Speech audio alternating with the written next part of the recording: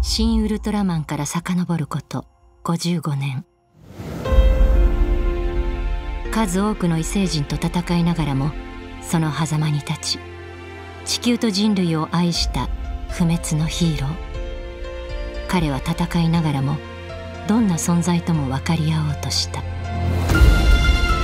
それは互いの理解の先にこそ希望があると知っていたから。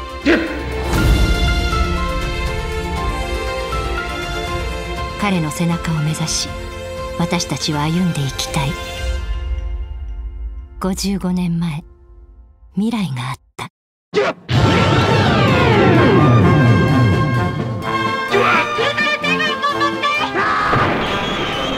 僕は地球の平和を守るために働くんだ。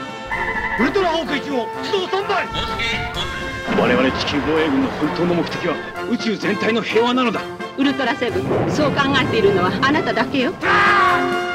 侵略者は超兵器に対抗してもっと強烈な破壊兵器を作りますよ。我々はそれよりも強力な兵器をまた作ればいいじゃないか。それは血を吐きながら続ける悲しいマラソンですよ。まず相手を信じることです。そうでなければ人間は永遠に平和をつかむことなんかできっこないんだ